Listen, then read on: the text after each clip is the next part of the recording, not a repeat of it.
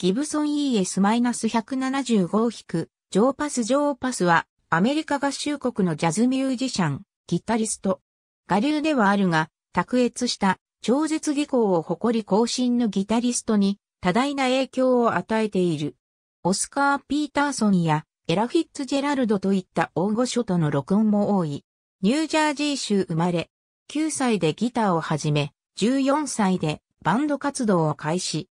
その後麻薬中毒で苦しむが、シナノンという構成施設に入って立ち直り、1962年にアルバム、サウンドオブ、シナノンを発表。1965年には、ジャンゴ・ラインハルトに捧げたアルバム、4、ジャンゴを制作し、話題となる。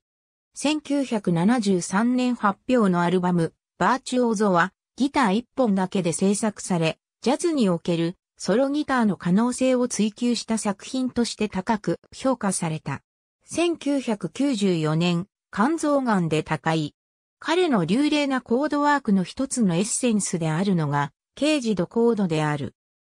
これは、オープンコードの開放弦に値する音を常に、人差し指のバーコード、正波で押さえ、常に、どのポジション上でもオープンコードフォームを用いることができるという、彼独自のコードアプローチである。もっと端的に言うなら、常に人差し指がカポタストの役割を担う。このようなコードアプローチは数々の著名な歌手や奏者との共演から生み出されたと本人は語っていた。刑事ドとは米族語で酔っ払いの意。ありがとうございます。